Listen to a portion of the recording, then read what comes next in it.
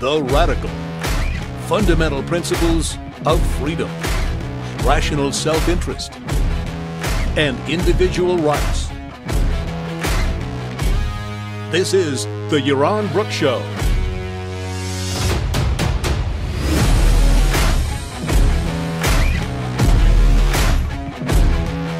All right, welcome everybody to Yaron Brook Show on this Wednesday. Uh, no, it's Tuesday. Tuesday. Skipping ahead. On this Tuesday evening, um, yes, video is good today. Uh, bandwidth is back in uh, in my condo in Puerto Rico. Uh, yesterday, we were running on literally fumes. There was no bandwidth, zero, zilch, nothing. Um, today we're back to full speed. We've got I don't know 200 uh, megabytes uh, per second up upstream, so we should be good. Still could be tons of technical errors, but at least we know the bandwidth is good. All right. So uh, thanks, thanks everybody for joining me three days in a row. I know you're probably getting a little tired of me, but I, I do promise I, am leaving. I'm going on the road uh, tomorrow, so I won't be around for a couple of weeks, so you can take a little bit of a rest from uh, live shows, uh, live shows with me. Uh, but uh, I thought today we'd shift to an economic topic, uh, a topic that's related to uh, to the state of economics in the world. I, I, read an article in the Economist magazine. Um, you know, I, I get I get the Economist emails from the Economist on a regular basis, and the title of this article struck me and and then reading it uh, made me so frustrated that I figured I would share my frustration with you guys. Um, the title is Economists Cannot Agree on What Ails the Global Economy. And, and this is true. Economists, indeed, cannot agree on what ails the global economy. Uh, they, they, are, uh, they, uh, you know, they huge disagreement, huge um, I think, ignorance and, and silliness and stupidity among economists and, and a lack of integration. We talked about integration yesterday, a lack of integration of the theory and the data and, and, uh, and what is going on. So I thought I'd go over some of the arguments. The funny thing is, according to article at least, the economists agree on the solution. They, they don't agree on the cause, but they agree on the solution. We'll, we'll get to that. Everybody agrees on the solution uh, we will get uh, we will get to that the solution for uh, slow economic growth. But first, the, the, the problem, the, the, the challenge is that the global economy, particularly the global economy in developed economies, and, and when I talk here about Western economies, I'm basically talking about uh, developed economies. So I, am not only including uh, the West geographically, but the West spiritually and, and culturally. So I include Japan, for example. Uh, economically, it is a part of the West. I include the Asian tigers, um, uh, so South Korea and, and Hong Kong and Singapore. And what is, what is true of all these economies, from the United States to, to Europe to these, uh, these countries in Asia, is that the economies of all these countries have basically slowed down dramatically. The United States maybe has the fastest growing economy among them, and it's only growing at like 2 point something percent. 2.2% was the latest number, and uh, it might go below 2. I mean, that is pathetic growth. If we had had uh, 2% growth from the uh, turn of the 19th century and the 20th century until today, we'd be poorer than Mexico. So growth matters. Every, every fraction of a percentage of a point matters when it comes to economic growth. So uh, for developed economies to only grow at around 2% is, is really, really, really bad. Now, what's interesting is even the, the developing economies have relatively slowed. Um, and uh, I'd say that the, uh, you know, China's a good example. It's slowed to around 6%, probably a lot less than that, from 10, 12, 15%. Even India has slowed. Much of the developing world has slowed. So generally, there seems to be a slowdown in economic growth in the world. And this has massive consequences. Massive consequences to alleviation of poverty, massive consequences to the opportunities that individuals face, in the United States, it has, uh, and in Europe, it has consequences to uh, economic mobility.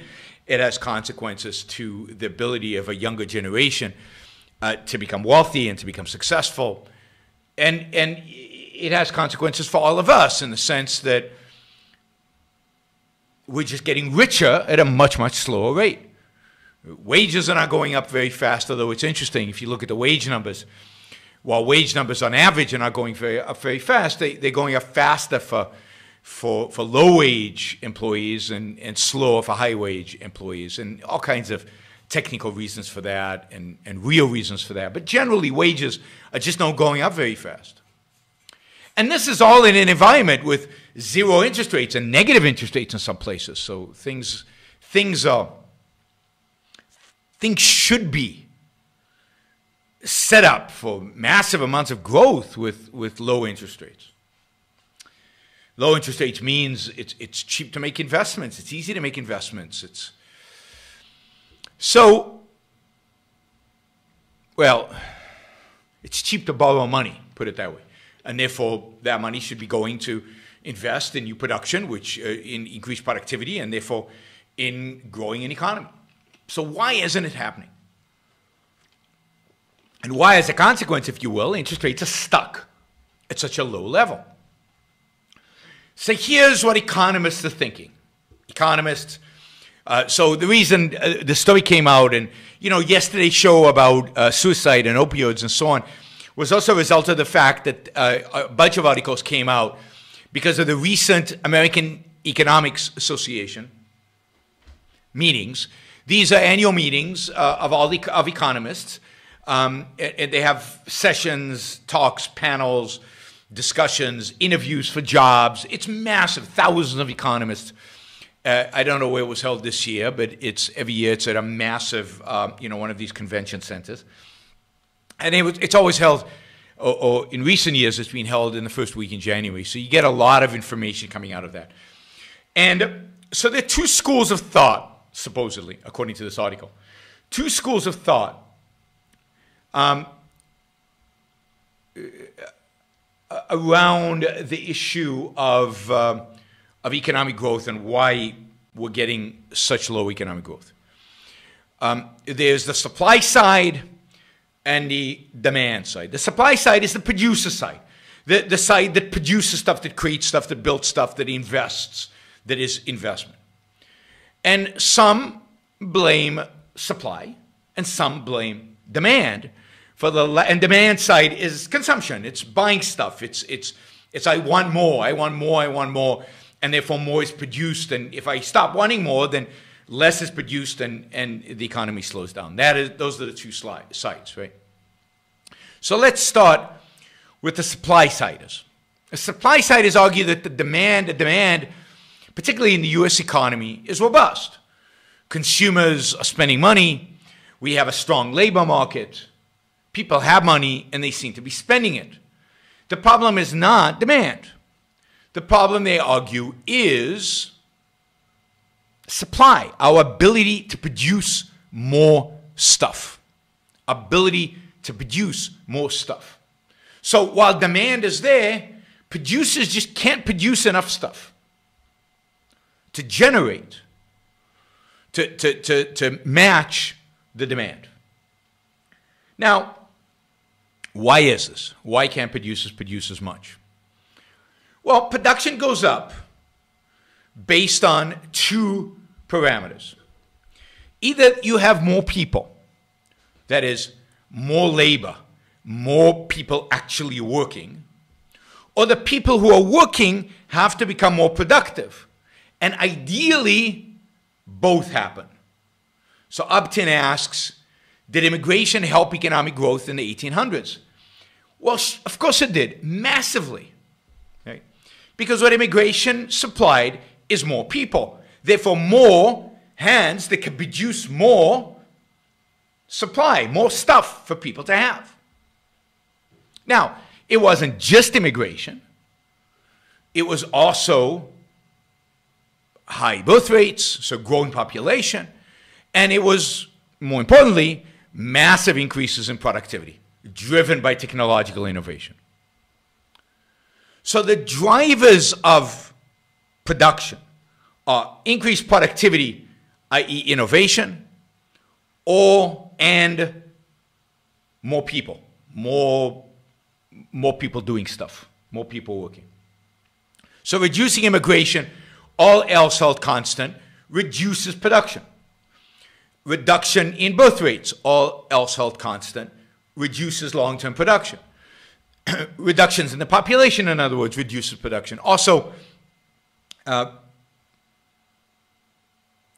you know, retirement, increased, increased death, um, uh, people exiting the workplace like they are in the United States with the baby boomers retiring. All else constant reduces the amount being produced. Right? So the supply side is saying, look, because of restraints on immigration, because of lower birth rates, because of an aging population, we are seeing a reduction in the number of people to produce. And at the same time, at the same time, we're actually seeing a slowdown in technological innovation.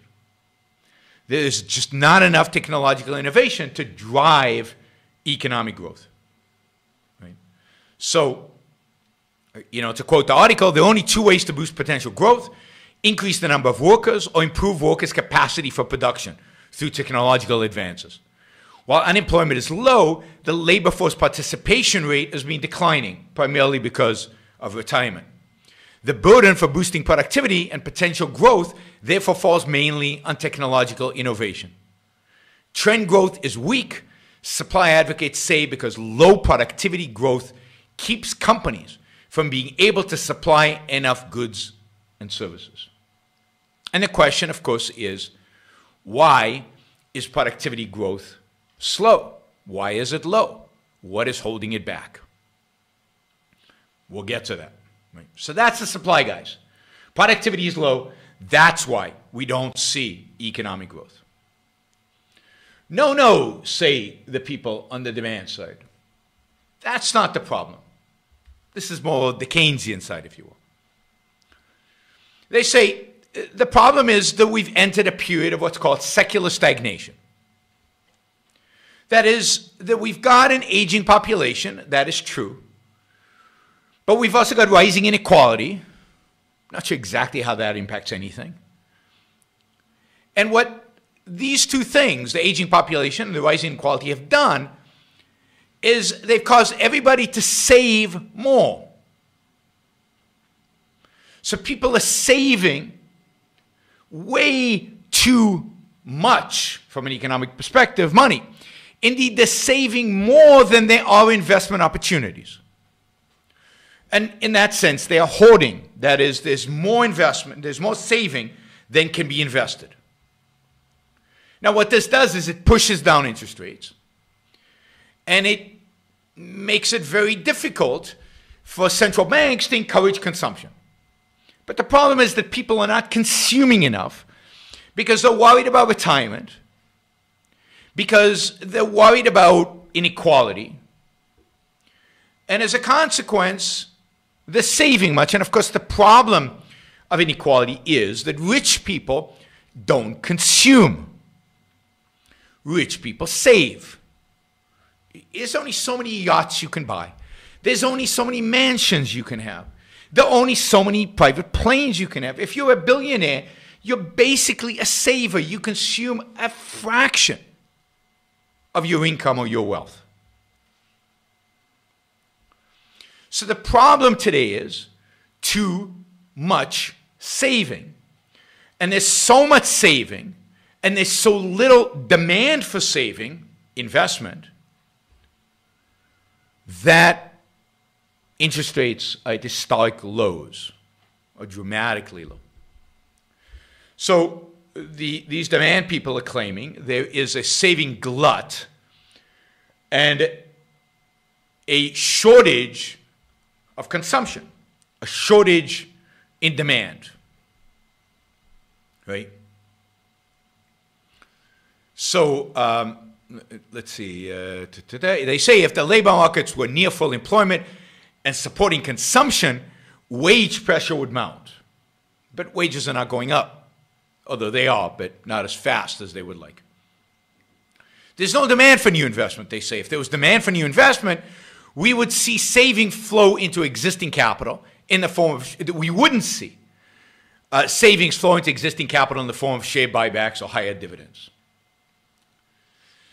So here's the quagmire, right? You've got the demand side saying, no, no, no, no. We have too much saving, not enough investment, not enough demand for investment. There are not enough people want capital in order to invest. And we've got people who are uh, saying, and, and, and, as a, and, and as a consequence, the saving is coming at the expense of consumption. On the flip side, we're saying, no, the, the, the problem is that we don't have enough growth in productivity, and we've got basically a stagnant workforce. It's not growing enough. And these two argue.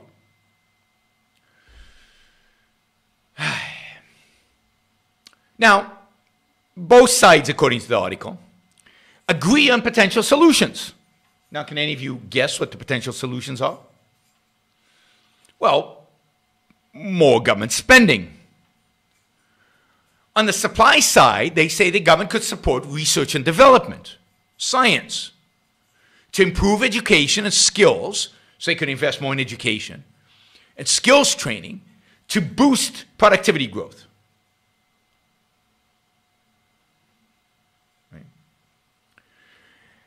Public investment could also stimulate aggregate demand by addressing some of the structural drivers of secular stagnation.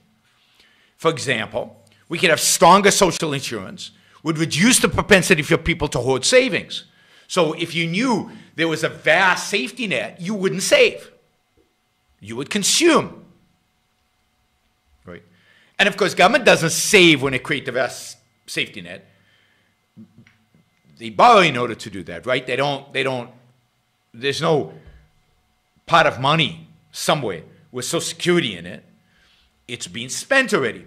They will borrow in the future to cover expenditures. So it's great. Government will consume, and you will consume, and nobody will save. We'll just count on future wealth to be taxed away to pay out your social insurance, as they call it.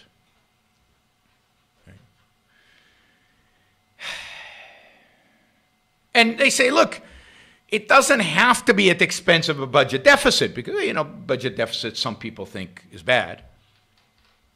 For example, you could have much more taxes. You could have much higher taxes on the rich, much more progressive taxation. And that much more progressive taxation would reduce inequality, which would also reduce people's propensity to save because as the rich got poorer, they, you know, they would have less money to save, and the poor people would get that money and they would use it to consume. Because the fact is that the poor people's propensity to consume is higher than rich people's propensity to consume. So everybody agrees on the solution. More government spending, more government spending on education and science, more government spending on social programs and redistribution of wealth. And that, my friends, will solve the growth problem. But funnily enough, to some extent or another, that's what these economies have been doing for the last 40 years. The United States has the most progressive tax system in the developed world. Maybe, maybe that's why they argue it's doing better than the rest of the world, really. Um, Japan has invested massively in infrastructure and education and training and all kinds of stuff in order to increase aggregate demand and to invest in long-term science to, in order to boost long-term productivity. Japan has invested massively in Japan. If you don't know the story of Japan, Japan has seen almost no economic growth since the early 1990s. Right? That's 30 years of almost zero economic growth. That's astounding. And that manifests itself in almost no growth in productivity. Now, to me, the whole thing is somewhat comical. Because supply is demand and demand is supply. And, and, and this idea that they're all different, that, that the, the causes here are different, that, that, that there's no connection, that they're not related, that they're not interconnected, is to me ludicrous. The idea that saving is bad somehow, the consumption is good somehow, or saving is better than consumption, or consumption is better than saving. As if the market doesn't have a mechanism to deal with all of that. It's called interest rates, and we'll get to interest rates. But let's start with the supply side, and we'll go to the demand side, and we'll see how it's all connected. It's all the same. It's all one problem. And the cause of the problem is the exact opposite of what they claim. I mean, no, it's, it's not the exact opposite. It is the, the, the, the, what they're claiming in a sense. But the solution to it is the exact opposite of what they claim.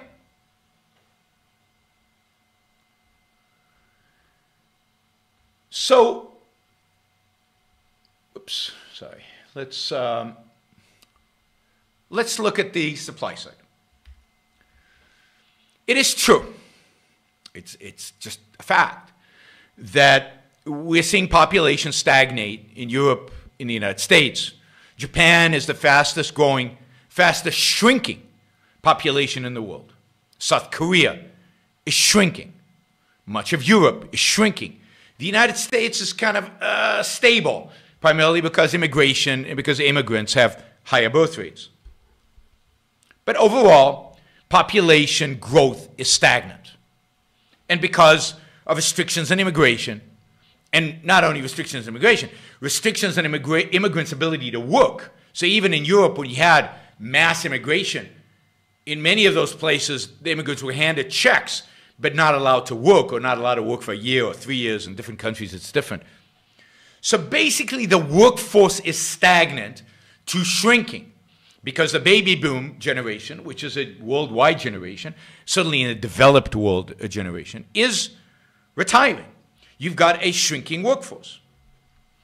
And it is true that productivity has slowed. So you've got less people working, and productivity has slowed. And the question is why?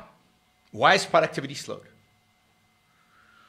Well, to answer that question, you have to ask, or, or why has innovation slowed, or why has technological progress slowed? And now, it has, in some ways, in spite of the internet, in spite of all the technological marvel that's coming out of Silicon Valley, it seems that technology is advancing only in what Peter Thiel calls the electron businesses, in the subatomic particle businesses. But in businesses that actually deal with atoms, with molecules, with stuff we can see, innovation is almost non existent. And you have to ask the question of why? Why is innovation slowed so dramatically? Why is product productivity, therefore, slowed significantly? Why is technological breakthrough slowed. I mean, if you think of the technological breakthroughs at the turn of the century, you think of the Wright brothers, Thomas, Jeff, uh, Thomas Edison. So going to electricity, going to oil, going to the internal combustion engine, automobiles, airplanes. I mean, these are massive, massive, life changing, world shattering changes to everything. Now, it's true, we have had a computer revolution, and indeed, almost all the productivity gains over the last 40 years are the consequences of computers, of the integration of computers into business, the replacement of employees with machines, with algorithms, with robots, with everything. So, whatever productivity gain we have seen, it's come from this one industry. But we're not seeing much innovation elsewhere. We're still using fossil fuels. Now, they're, they're damn good, but what happened to, the, to, to nuclear? What happened to flying cars? What happened to mining asteroids? What happened to uh, the massive potential that exists out there in the, in, the, in the space of big physical products to improve dramatically beyond just the computing power? Well, again, one has to ask the question what makes innovation possible? What makes progress possible? And here one has to rely on, on Ayn Rand and, and Austrian economists. What makes innovation possible is the human mind, is people thinking, is people exploring, it's people experimenting, it's people trying and failing and failing and failing and failing and failing and failing and failing and failing and then succeeding. Ask Thomas Edison. Ask the Wright brothers. What progress, technological progress, innovation requires is an entrepreneurial mentality, an individualist holds, you know, uh, uh, uh, pushing ahead, taking risks, failing, experimenting, trying, getting up on your feet, going ahead again, trying again, failing. It requires experimentation. It requires the human mind to be free to think, to innovate, to progress, and it requires the freedom to apply those thoughts in reality. In reality. That is, it requires the freedom, the freedom to build businesses, to fail at businesses, to experiment, to try new things. And the fact is that other than in the Silicon Valley world, and that world is going away in my view, but other than in the technological world, we have no, none of that freedom anymore. I mean, I was just reading that the European Union wants to regulate the, the power connector for phones and devices. They want to make sure that all devices have the, the same connectivity so that you, the consumer, will only have to buy one cable for all your devices. Isn't that wonderful? And they're upset because Apple uses one type of cable and everybody else uses a different type of cable. So they want standardization of cables. I mean, this is how you destroy innovation. You start regulating the minutia. You start regulating every aspect of a business. You tell people when they what businesses they can start, what they can't start, what things they can experiment in, what they can't. They have to wear goggles, otherwise they you could go to jail, I guess, or get fined. Imagine if you told Thomas Edison he had to wear goggles and he had to have sprinklers and he had to invest millions of dollars in safety, he would have never done what he did or the Wright brothers. Oh, no, no, that's too risky, guys. We live in a culture where the government stifles risk taking, it stifles innovation, it stifles experimentation. The FDA makes it almost impossible to bring a new drug to market. The innovation in healthcare that would be allowed if you privatized the FDA and you had private, private institutions who regulated for the private sector drugs is unimaginable as compared to what we have today.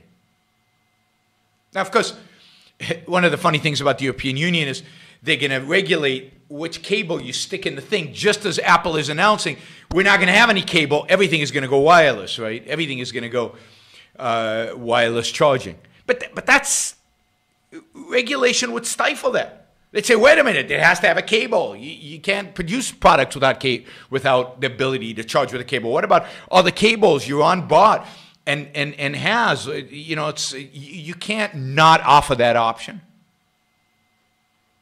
That's what we're getting to.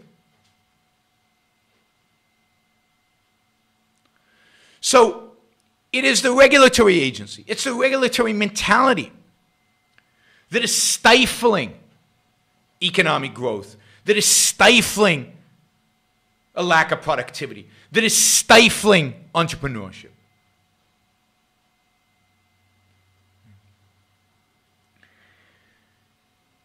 And it's true that we lack an investment in research and development and education.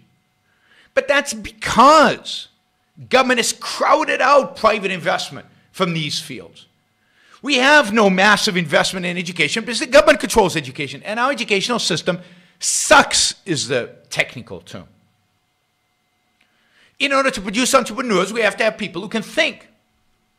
Not just think by the book, not just think, but think creatively. Think outside of the box. Think independently. And for that, you would need a vastly different educational system than what we have today which is about what learning, if it's about learning at all, when it's not about socializing. But even Europe's better educational system, I don't know, Finland or whatever, are not producing thinkers, not producing innovators, not producing producers, not producing risk takers. Indeed, we've taken risk out of life. Risk is dangerous. we don't want people to take risk. And we teach them not to take risk. As parents, we do the same thing. We discourage risk taking. So we have a culture of people who should be the innovators who are afraid to take risk, afraid to fail. I mean, the US is better than Japan in this, better than Europe in this. In, in the US, it's still acceptable to fail. In these other countries, it's not. The, the, the dream job of a Frenchman is a government job and as a civil servant with a lifetime income and a lifetime pension and everything.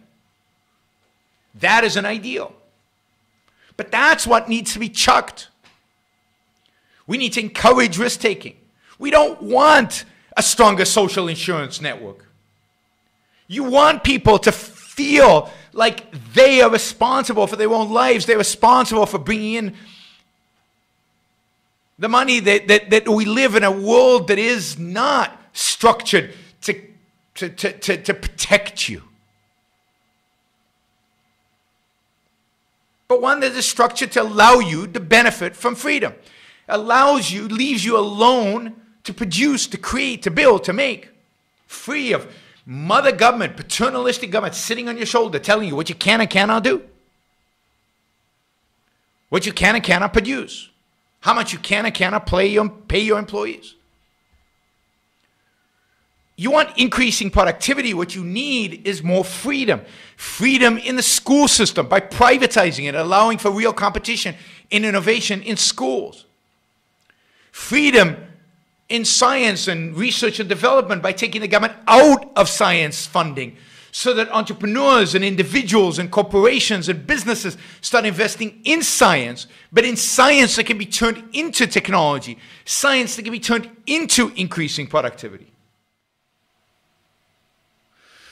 Okay, I was talking about the, um, the supply side explanation for why we are in stagnation is because there's not enough increase, there's not enough growth in productivity.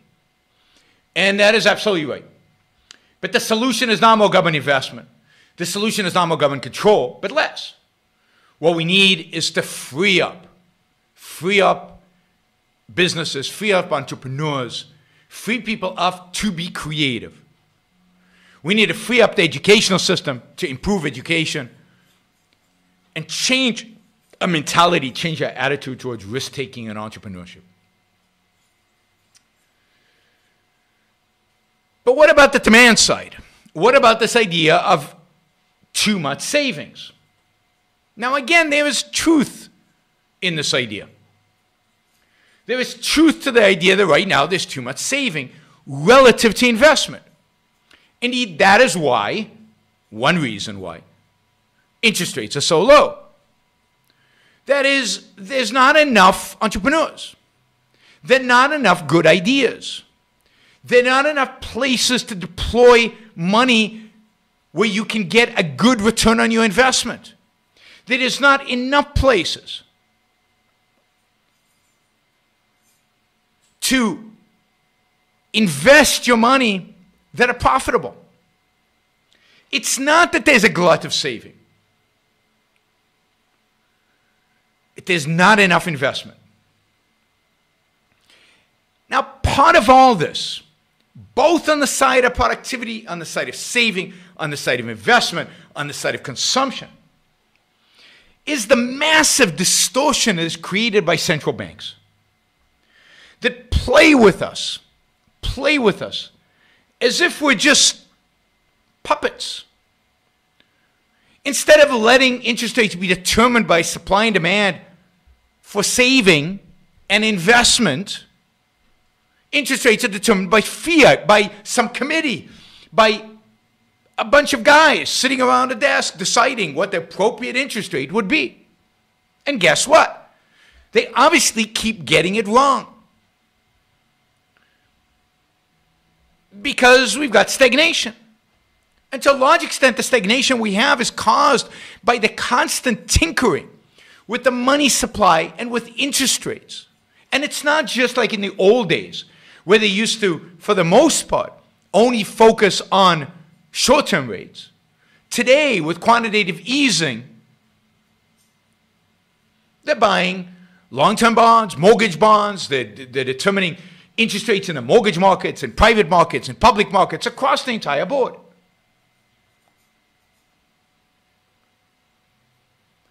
So we've got this massive distortion of central banking. And you can't, therefore, argue that there's too much saving or too little saving or too much this or too. There is not such thing as too much saving. There is no such thing as a glut of saving. There's a response to the market. If there was a lot of savings, interest rates could go down, borrowing costs would decrease, demand for borrowing would increase, and interest rates would go up. But the central banks won't let interest rates go up when there's an increase in a demand. So, the whole mechanism by which investment gets adjusted, the cost of investment gets deducted, capital gets allocated across the economy. That mechanism is completely distorted and perverted by central banks. So you want to get back to a robust, growing, vibrant economy. Is you've got to eliminate regulations, get government out of science and education, and importantly, get government out of the business of setting interest rates and determining out of, out of the business of money completely. So that interest rates are determined by supply and demand. Interest rates are determined by how much investment there really is, how much saving people want at any given point in time, at any given interest rate. I mean, interest rates are artificially low across the entire yield curve, across all kinds of bonds. Because government has demanded that. Central banks have dictated it. So one can't blame the market or claim that this is a market phenomena when it is so perverted and distorted. And the solution cannot be more of the same. More government control of, of education, more government investment in science, more safety net, more manipulation of the currency and of interest rates by the central bank. That is the exact opposite of what needs to happen. So the bottom line is the West is stagnating because economic freedom is stagnating. Developing economies are stagnating because economic freedom is stagnating.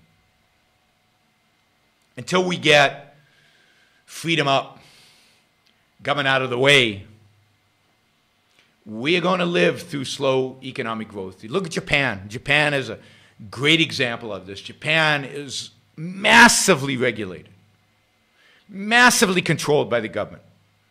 Business banking is dictated by the government. And therefore, when it had a big recession, it couldn't get out. It couldn't recover. It couldn't increase productivity. It couldn't realign resources because everything was dictated through central planning. Now, not everything, not in the same way as communism. So there's enough freedom not to completely, you know, collapse into depression, but not enough freedom in order to grow. Growth, again, requires innovation, it requires freedom, it requires thinkers, it requires risk takers, and that's not Japan. Not Japan, not because there's anything wrong with the Japanese, but not Japan because of the level and extent of government intervention. Okay, great. Let me let me see if there are any questions in the super chat. And I did save all the old super chat questions. I have them. Um, let me see. Which founding father had the best economic ideas? I mean, Hamilton had some good economic ideas, and I think some bad ones. Jefferson had some good economic ideas, but a lot of bad ones. I, none of the founding fathers were very good in economics. Uh, economics was a very young field. Capitalism had not really fully been born. In a sense, they were birthing it. Um, they had read Adam Smith, but I'm not an expert on the founding fathers. Uh, I'm far from an expert on the founding fathers. But from my limited knowledge, I don't think any of them was was a superstar when it comes to uh, when it comes to um, economics, and, and and I haven't read enough at the source to tell. I mean, many people will argue that it was Alexander Hamilton. Uh, I'm not in position to argue against that. I know others would argue against that claim too. Uh, some claim infinite economic growth is a fantasy, and the field of economics needs to be reconceived along a long term steady state. Uh, nonsense is my thought of that. Complete nonsense. There's no reason why economy cannot grow forever. The myth of limited resources was blown up by uh, Julian Simon, the great economist. Uh, human needs are infinite. The human ability to create resources, to discover resources, to figure out resources. The human ability to do that is infinite.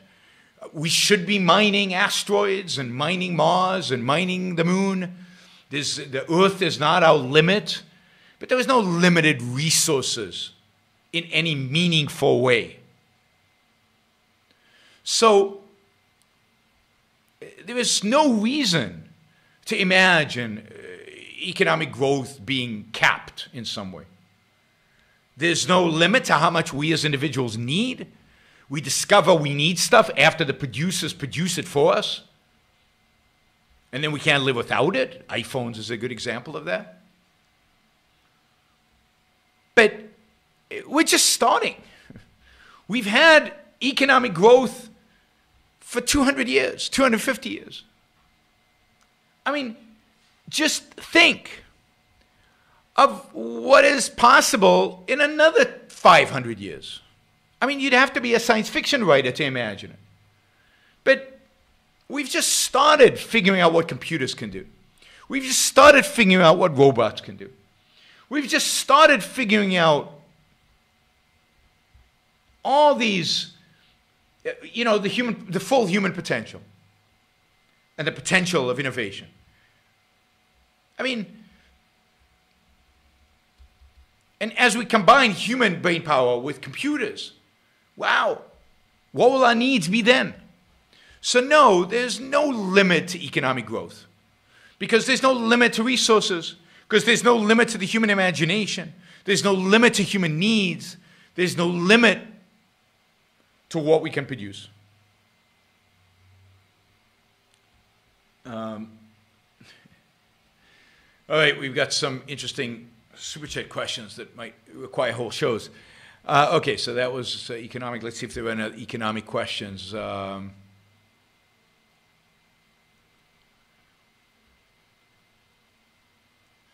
why do so many smart people believe we need more inflation? Many talking heads were saying the opposite 10 years ago. I mean, I don't know why so many people, smart or otherwise, think we need inflation. It is nuts. Because they associate inflation with economic growth. There is this myth that economic growth produces inflation, but economic growth produces the opposite.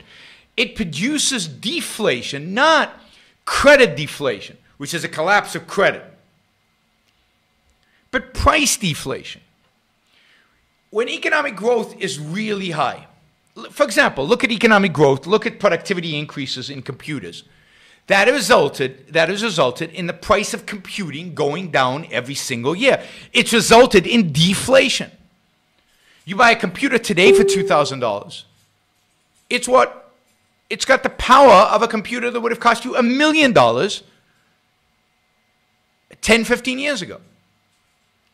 So productivity increases tend to cause deflation. And it's interesting because those areas in economy that have massive price inflation have massive increases in cost healthcare, education, real estate are the ones in which government is involved the most.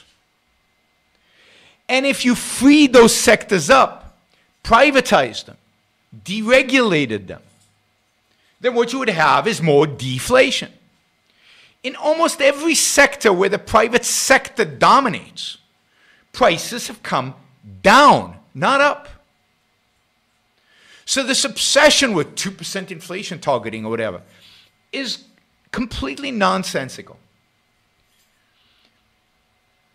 And, you know, it's derived from Keynesian models of the economy that are very sophisticated and very complex and very and, and are the exact kind of models that have led us to the, the crash in 2008 and the Great Recession and, and, and the stagnation that we experience today.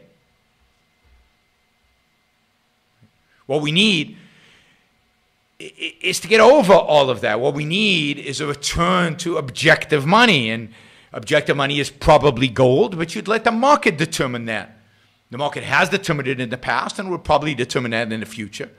And what you need is private banking, competition for currencies, which I think gold would win that competition and would actually have a global currency. And I know globalists out there, you don't like globalists, but we'd have a global currency which is called gold.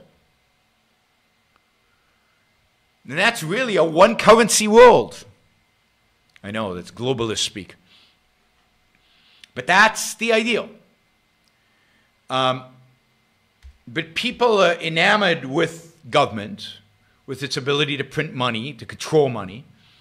They're enamored with the power that that gives us over, gives them over our lives.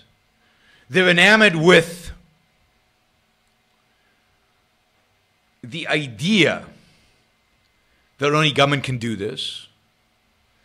And you know, it, it gives them immense, immense power. You know, it's, it's stunning to me how really, really, really, really smart people are so utterly stupid. It's one of the reasons I don't like the whole IQ thing, because I know so many people with unbelievably high IQ that cannot think. Cannot think. They've got the horsepower. They can do the math. They can't think, they can't integrate. And therefore, they're destructive, they're not productive. And, and, and I count most economists, or many economists, many academic economists, if not most of them, on the destructive side because they cannot think, they cannot integrate.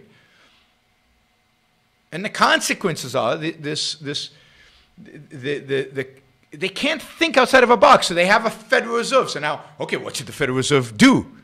Well, it should target something. So you can come up with equations, you can come up with a number, you can come up with all kinds of things instead of saying, well, why do we have a, why should we have a Fed? Why can't we let markets do this?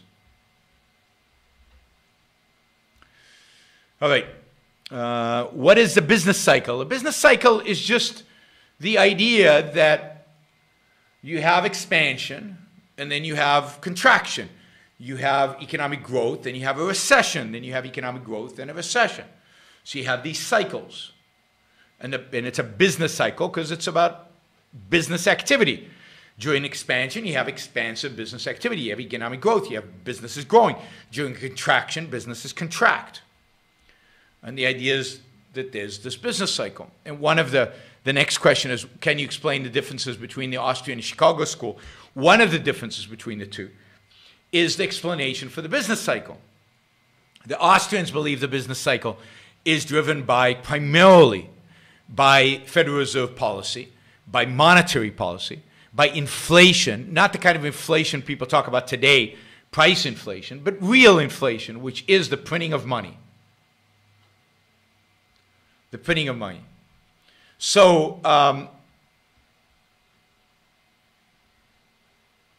that is what um, that is and the, the chicago school doesn't believe that. They believe that the market basically knows what the fed is doing can predict what the fed is going to do and basically neutralizes what the fed is going to do. It's called rational expectations. So they can rationally predict fed's movements and therefore nullify them and some in the Chicago school actually believe that the Fed is irrelevant in that sense. It cannot have a real impact on the real economy. Um, Chicago school is quite mathematical, model driven, uh, believes in a Fed, at least most of the Chicago school believes there should be a Fed. Uh, Milton Friedman was part of the Chicago school most of his life. He was a very academic, economist. He was uh, uh, built models, did math, did empirical studies, uh, uh, uh and, versus Austrians who don't believe in don't believe in math and economics, who uh, it's like Mises and Hayek. They they they explain economics in terms of you know verbal explanations, logical explanations. They use reason to explain the economy without the use of math. Now I think some math is useful. I think empirical studies are useful. I, I, I, think the Austrians, some Austrians go too far in dismissing mathematics and empirical studies. But I think generally Austrians have it right. Um, I, I, do think markets can be fooled. I think it's a mistake to assume markets cannot be fooled, that they always predict, that they always get it, that they always anticipate. Um, those are some of the differences. They're generally free market. Both schools, Austrian tends to be more free market than the Chicago school, as illustrated by the fact that Chicago thinks uh, most Chicago economists believe there should be a Federal Reserve, there should be central banking. The, the, the Austrians do not. All right, I think that is all the questions I have um, on economics. So I'm going to go down the questions. Um, just in order. A lot of art questions, which is great. What is your favorite Shakespeare play and why? I mean, that's a tough one because I, I, I, love a lot of Shakespeare. I think Romeo and Juliet is a stunning, amazing play with, with, with so many interesting ideas in it um, about love and about tribalism and, and, uh, and, and the evil of tribalism and the consequences of tribalism. Um, I, I, love Macbeth, the consequences of evil. And, and it, I mean, Shakespeare is such a good psychologist. He understands the psychology of evil. He understands kind of the rationalizations of evil, the need to rationalize. The, the, the Macbeth and Lady Macbeth's constant need to rationalize their actions, to explain it to themselves, to justify it to themselves and to each others.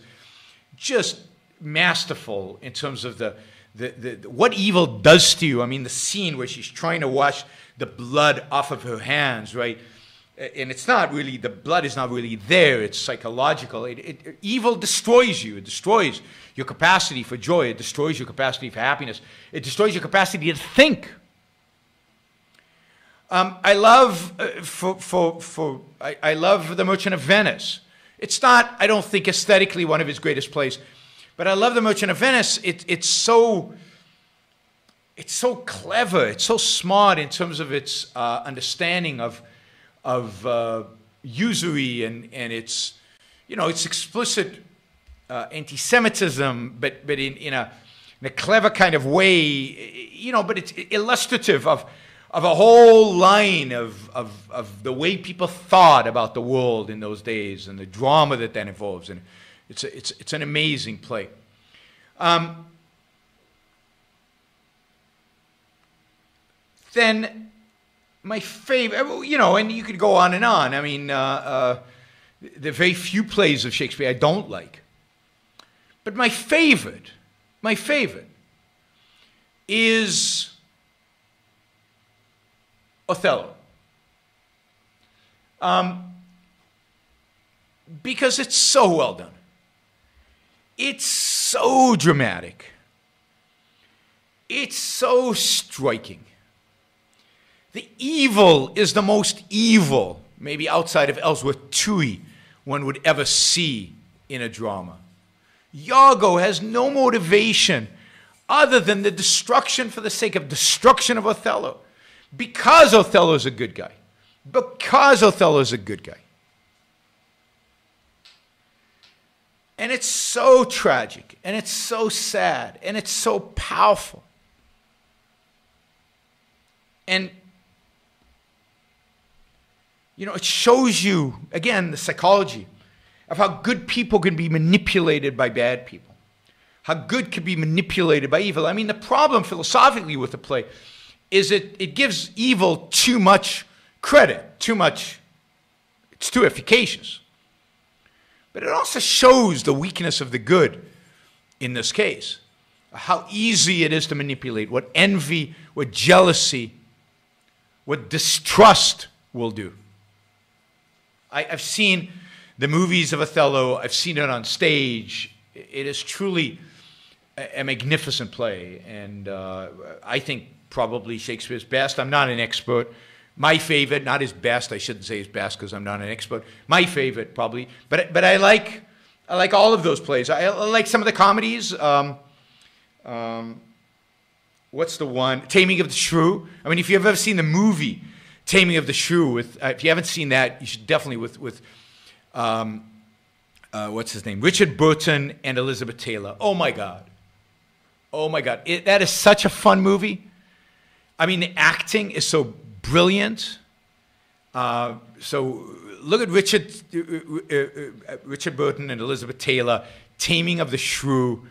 It, it's, it, really is, it really is fantastic. I, you know, I, I haven't seen as much Shakespeare as I'd like to.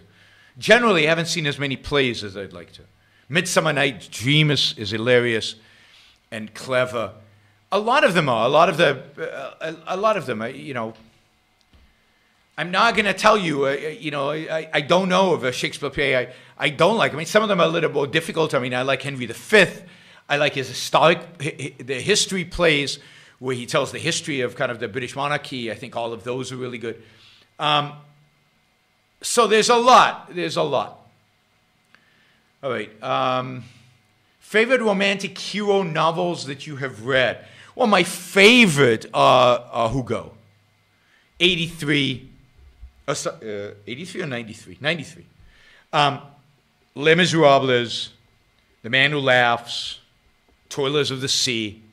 Those are the most heroic, best novels ever. I also like a, a book called Ivanhoe. Uh, so I like a lot of the kind of the 19th century French and English romantic writers. There's a lot of them. Uh, Scaramouche, Scaramouche, I think his name is. I forget the author's name. There's a lot of good 19th century romantic uh, literature that is very enjoyable. Again, I'm not an expert on romantic literature. Have you seen The Witcher on Netflix? I have not. I've, I've just downloaded a few episodes onto my iPad to watch while I travel. Uh, let's see. In Zurich, there is a show of Atlas Shrugged, a satire. I haven't heard of that. I, would appreciate if you would send me some information about that. A, musical satire of Atlas Shrugged in Zurich. If somebody can send me a, um, you know, a, a uh, link to that, I would love to see it. I mean, I think it's horrible, but I'd, I'd like to see what they're doing. Did you at some point help your children to develop a hierarchy of values Do you ever challenge them in this regard? I mean, probably not, and I probably should have. I probably should have. You know, it's one of those things that I, I probably could have done more to help my kids develop a hierarchy of values. Anyway, I, um, you say soldiers of authoritarian armies aren't motivated. But weren't the Nazis some of the most motivated and efficient fighting forces in the world? No, not particularly. Not particularly. Um, I think there's a small cadre of people who you can brainwash for a while into being highly motivated and, and uh, brainwash, I don't mean it in the technical sense. You can convince to be motivated around a cause for a while, but at some point that motivation dries up because at some point it doesn't add up and it doesn't integrate into anything. I, I don't think of the Nazis as particularly motivated soldiers. I, I mean, I, I think they lost the war primarily because of strategic errors made by the Nazi high command, but that was inevitable. But I also think they would have lost the war anyway because I don't think they are capable of fighting as well as a free army. So, no, I mean, if you think about,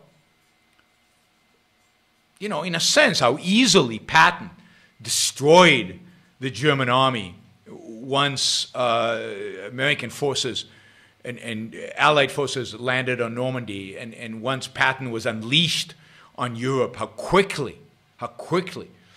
And, and, uh, and, and I think if he, if he had been left free even more, it would have been even faster. They destroyed the German army. So I don't particularly think the Nazis were a motivated and efficient, efficient fighting force. They might have been initially when, when they thought, oh, we're going to win and this is going to be easy and we're going to crush everybody.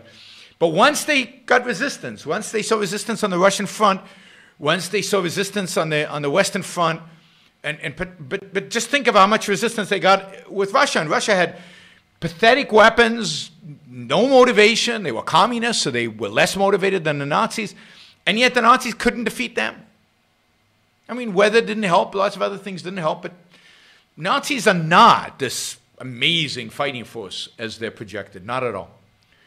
Do you like Alma Deutscher? Yeah, I like Alma Deutscher. I mean, she's a child, so there's only so much sophistication you can get out of her music. But she's talented and she's worth supporting and uh, enjoyable. The music is enjoyable, just as uh, you know, young Mozart's music was enjoyable. And and I, not that I'm comparing her talent to his. I I, I don't know, how, wouldn't know how to. But um, she's obviously talented and obviously oriented towards classical music, which is good, and trying to write sophisticated uh, uh, important music, and we'll see how far she gets. I hope, I hope she does very, very well. All right, uh, let's see. Um, I wonder how primitive man still is intellectual in general knowledge, science, thoughts. I don't understand the question. I wonder how primitive man still is intellectually is intellectually in general knowledge, science. I don't understand the question. Sorry. Um, do movies like Avatar discourage economic growth? Yeah. To the extent that they tell people that economic growth is evil, to the extent that they tell young people in particular that mankind is evil, that we should go back and live in caves, live with the, with the plants, live in the forest, don't try to be civilized, don't try to, to progress, then yes, I think it has an impact on motivation, it has an impact on culture and it has an impact on legitimizing the anti life, anti man environmentalist movement. Star Trek, the original series on Next Generation. I mean, I'm biased here because, uh, for a variety of reasons, in terms of when I was watching TV and wh when I grew up and all of that, I, you know, Star Trek, the original series, is, is part of my youth, and, and Next Generation was not. I wasn't watching television when Next Generation was on, so I watched very little of Next Generation. So I'm definitely an original series guy. And, and I, I think the original series is very clever, very smart, very intellectual, always ideas driven, and I'm a big fan. Um, and it, it, I've been told that the next generation is too. I've been told that like there's other parts of the Star Trek universe they're even better than the original one in terms of intellectual and ideas and, and being smart and everything. It, I just not, have not experienced it directly. if no Federal Reserve, what would have been the best way to stop bank runs? Well, you have to ask why there are bank runs. I mean, uh, the Federal Reserve in and of itself did not stop bank runs. There were bank runs in the 1920s while there was a Federal Reserve. There was, there was uh, bank runs in 1932, massive bank runs in 1932 when the, when the Federal Reserve was very involved. What stopped bank runs was not the Federal Reserve, but was deposit insurance was the government guarantee that your insurance would be safe no matter what happens. And I think that's perverse as well. So I don't think, in a sense, anything should stop bank runs. I think the marketplace, I think bank runs are good discipline against bad banking. Bank runs, uh, uh, you know, the only thing that should um, stop bank runs, if you will, is deposit insurance that's privately guaranteed, privately priced, privately insured and therefore adjust the insurance rates based on the riskiness of the bank, which encourages banks to keep more reserve and therefore be less susceptible to bank runs. So, I mean, we don't have time now to get into the intricacies of bank runs and deposit insurance and all that, but the market solves these problems much better than a Federal Reserve or, or government does. And if you're interested, there's a lot of literature on free banking. There's a lot of literature on why the Federal Reserve is bad. Uh, George Selgin and Larry White uh, are, are some of the top economists when it comes to free banking, when it comes to getting rid of the Federal Reserve, when it comes to, to defending fractional reserve uh, banking. And, and that goes to the can you teach Bert Meister why fractional reserve banking is good, okay? I've tried before, I think, with Bert Meister. I, I don't think this is the first time it's come up. But no, I, I don't think today is the time or the place to do it. I'm happy to do a show on fractional reserve banking uh, if, if there's real demand for that. But um, I think um, people have heard me, and I've I referenced, I refer you to good content on this topic. Uh, Larry White, George Selgin, uh, on on uh, fractional reserve banking, on free banking. I think they're the best resources for this. Um, if uh, okay, so that's if no Federal Reserve. What else do we have here? Why aren't prices rising given all the QE? Well, because the QE is not going into consumption, which is what would drive prices up. QE is going into basically two places. It went into bank reserves at the Federal Reserve, so it went back into the Fed. It was distributed by the Fed and then sucked back into the Fed uh, by the Federal Reserve through, uh, what do you call it, through um, uh, required reserve, not required reserves, through the fact that the Federal Reserve pays interest on reserves and an increase in reserve requirements by, by uh, Dodd-Frank. And the second place that the money's going in is because it's flowing through financial institutions – it's going towards increasing financial asset valuations. So where it looks like we're seeing inflation, if you will, increasing prices, price inflation, is in financial assets. Stock market, certainly the bond market, low interest rates, and, and, and potentially real estate. Hard to tell, but potentially real estate. So there is, prices are going up in certain sectors of the economy. Not in all sectors. Those sectors that touch QE are going up. Those sectors that don't touch QE, consumption goods, you don't see inflation going up. You don't see prices going up. But most of that money, if you look at the amount of money flowing in and then the amount of money going into reserves, most of the money flowing in through QE went into reserves. What's the best way to achieve your values when feeling down? Well, it's to, I mean, the best way I think to stop feeling down is to achieve your values. So the, I think the best way when you're feeling down is to go and do something.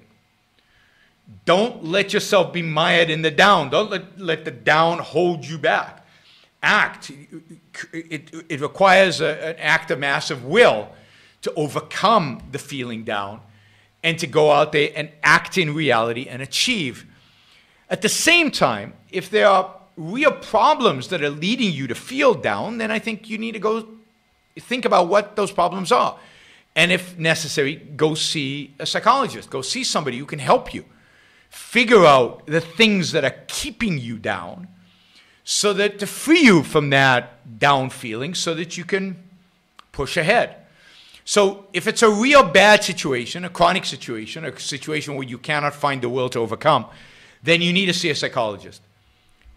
But sometimes you just have a down day and I'm feeling down, don't feel like getting up. I you know, I told my wife before the show, I said, I don't feel like getting up from the chair. I don't feel like doing this. I just want to sit here. And like the only way to overcome that was to just get up off the chair, to come into this room and to do it. And now I feel much better. When by the time I go back to the chair, I'm going to be full of energy, and and the, the, the down is is gone. It depends on what's causing the down, right? It depends on what's slowing you down. All right, sorry for the technical error in the middle. I'm, I'm glad we got to uh, pick up where we left off. Uh, I think I've covered everything I wanted to cover. I got to all of your um, super chat questions. Uh, remember to like the show.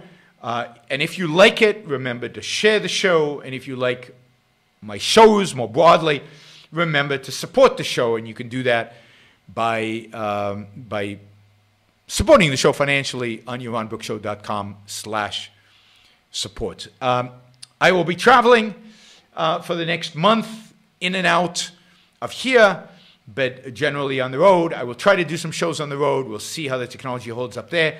I will definitely do shows when I'm back here, but that won't be very often. And um, some of you, some of you, I will actually see on the road, particularly if you're in Europe. I hope all of you in Europe are coming to our Warsaw conference. I hope those of you in California are coming to either the Orange County conference or the San Francisco co- conference. I'm always excited to personally meet you guys, the listeners to this show. All right. Thanks, everybody. I'll talk to you soon. Bye.